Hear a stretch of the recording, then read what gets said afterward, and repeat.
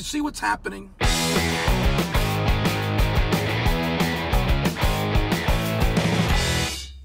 Hey, what do you hear? What do you say? My Facebook, YouTube, Twitter, Instagram, Google Plus, your sister's ass, the Pony Express. A very ticked off Vic here.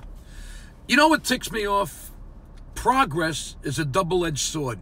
Now, follow me. You'll get it. The old saying, yeah, let me kick the tires, refers to when you were about to buy something. You know, you would go see it, feel it, touch it, understand what it looked like before you bought it. There was no online sales. So, so that's how you purchase everything and anything. Nobody actually kicks the tires when you buy a car. But you can't kick the tires if you don't see the merchandise.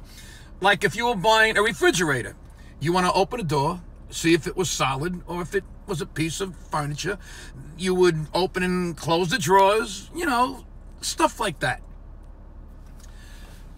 Nowadays, you can buy everything online. You want a car? Go to the car buying websites and have it delivered right to your door.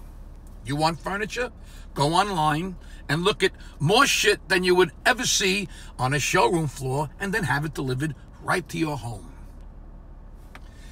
But this is only turning this country into a place where human interaction takes place less and less. We're all retreating into our homes and communicating by cell phones and iPads and computers. I'm not going to be chicken little here, but, but we're moving closer to Big Brother shit than away from it. Do you know what I mean? Look, I get that shopping online is faster and easier technically. As an example, I went to a big box store this weekend to get specific filters for my air conditioning unit. You know, you, you have to change the filters every couple of months because they get dirty from filtering the air. So I get to the section where all the filters are, shelf after shelf, and it goes on and on and on forever. I needed 10 inch by 20 inch filters and 20 inch by 30 inch filters. So what happens? Those are the sizes they didn't have in, in the store. In a store where you go to buy filters, they don't have my filters like I was buying air filters from, from the fucking planet Venus. So what do I do? I said, fuck it. I went home, got on Amazon Prime, found the filters I needed. I ordered them and they arrived the next day and the shipping was free. Oh, and guess what? They were less expensive online than at the store. So I wasted time and gas to go to a store when I could have stayed home and just ordered them online in the first place. And honestly, this happens a lot. So, how do the retail stores expect to stay in business if this is the trend?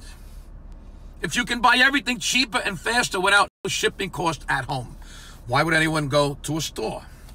I know people who order their groceries from Walmart or other supermarkets online and they're delivered right to the house.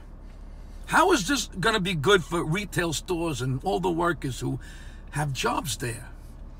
We all know that the online profits are way higher than brick and mortar stores, but but, but hey, that, that's capitalism at work. It's it, it's about the bottom line. The company will make more money doing it a different way, and the worker will have to figure out where to get their next job from. You, you, do you see what's happening? Make money for the stockholders. Fuck the workers in the neck. Whatever. And what exactly is going to happen to human beings? You can work from home now. You can see your doctor in a virtual visit now. You can order everything you need online now. We're going to evolve into Jabba the fucking Hutts. If we don't have to move, we're going to become legless jelly creatures with a big head and long fingers for using the Google machine. But we won't need legs, so generations of people in the future will have pollywog bottoms.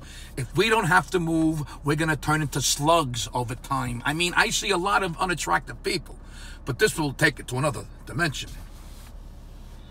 Look, I get it. You can't stop progress. That's that's another old saying, but when do we all step back and realize that sometimes change really needs to be figured out before it happens?